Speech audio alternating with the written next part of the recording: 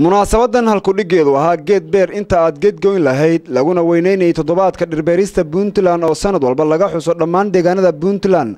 Ayaa waxaa ka soo qaybgalay maamulka degmada mas'uuliyiinta waxbarashada degmada odayaal haween dhallinyaro iyo ardada dugsiyada magaalada qardho waxaana soo agaasimay wasaaradda deegaanka dalxiiska ee durjoogta dowladda puntland oo kaashanaysa hay'adda care international oo alaaba wasaaradda kala shaqaysa wax ka qabashada arrimaha deegaanka waxaa ugu horeyn munaasabada ka hadlay isuduwaha wasaaradda deegaanka maxamed muuse waxaana xafladda si rasmi a u furay kusimaha duqa degmada qardho ahna gudoomiye ku-xigeenka degmada cabdirasaaq cumar faarax xafladatan muhiimka ah macnaha weyn inoo samaynaysa kuna saabsan maalinta qiimaha leh ee dhammaan gobollada puntland oo idil laga xusayo.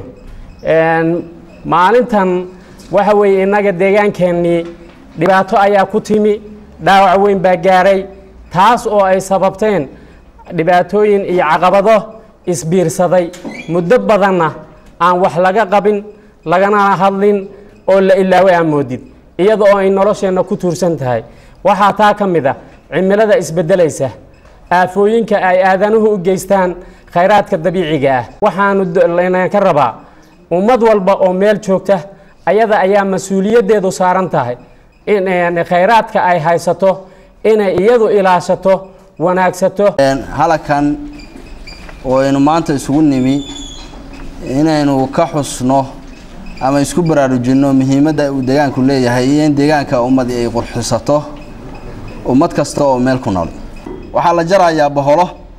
Waxaa moodaa iyadoo laga faa'iidaysanayo oo dadku u arkaan inay ka faa'iidaysanayaan oo wax ku dhisanayaan ama wax ku qabsanayaan inay haddana dhibaato kala abuurayaan oo hadda waddooyin badan oo jidad loo mari jiray ee haatan go-een.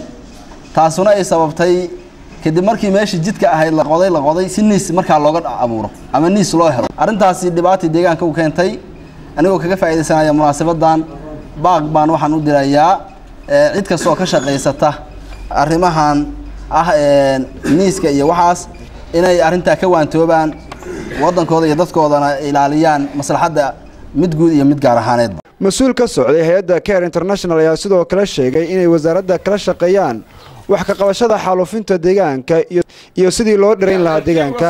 Xafladdan waxaa qayb ka ahaan jirtay in lagu baraarujiyo dadka inay dhir talaalaan.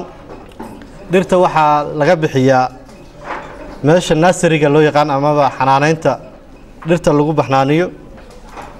Caqabado badan baa iska jiray. Dhirta waa la bixin jiray inay mucaawino naga noqoto oo inta la qaato iskoolka la iska geeyo ama meel kasta la geeyo hadhowna aan la talaalin dhibkeeday leedahay. Taa qaab ahaan haddeer waxbaa laga bedelay waxaan u bedelnay haddii aan la idmo ciddii dhir rabta. Codsi bay soo gudbisanaysaa. Naasariga waa u furan yahay. Ninka odayga mas'uulka ka ah baa lala xiriiraya haddii aan la idmo. Isagaana siinaya tirada qofku uu codsado sidaa la wada socotaan mashruuca deegaankaagu waa noloshaada oo ay wada fulinayaan hay'adda keer iyo wasaaradda deegaanka. Wax badan oo arrimaha deegaankaagu ka qabtay gaar ahaan gobol karkaar iyo dhulahaan dhul ahaan puntland oo dhan. Qaar ka mid a odayaasha mas'uuliyiinta iyo haweenka ka soo qaybgalay munaasabadda ayaa sidoo kale goobta ka hadlay. Bicida magaalada waa run horta bicdu way wanaagsan tahay magaalada in la qurxiyo. Dhirtu sharafta ugu badan weeye la ogaado oo deegaanka la fahmo. Markaasaa qofku muwaadin dhaba noqon karaa. Marka deegaanka uu ku nool yahay uu og yahay waxa uu ugu nool yahay. Laakiin hadduu iskaga noolo uu yidhaahdo waxba ma oga deegaanna uma aha. Geed haddii hadda la dhareeyo waxaa dhirta geedka la harsado dhirta geedka guriga laga horbeerayo oo guriga hortiisa ka baxa waxa ugu mutacafsan oo mutafaca guriga ka qaalisan waa geed gabagabadii xafladda lagu weyneynayay toddobaadka dhirbeerista puntland ayaa wasaaradda deegaanka iyo hay'adda care international iyo guud ahaan waxgaradka ka shaqeeya deegaanka ay u garteen in sanadka nabadoon cali iyo nabadoon maxamuud xasan dariic ay yihiin labada qof ee sida aadka isugu xilqaamay wax ka qabashada deegaanka. Wasaaradda iyo keerna ay shahada sharaf guddoonsiin doonaan